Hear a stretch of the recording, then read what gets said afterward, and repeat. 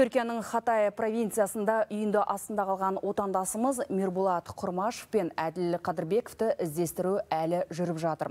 Таңға жуық кран жеткізілген президент Қасым Жомарт Тоқаевтың тапсырмасымен аттанған қазақстандық құтқарушылар жасағы мен кинологтар да осында.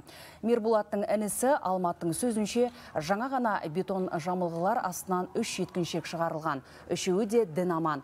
Сондықтан жерлестеріміздің аман есен табылуына үміт мол. Еске салайын жоғалған үш отандасымыздың бірі Сабина Мамадиярова кеше 6 метрлік тереңдіктегі үйіндің астынан шығарылған еді.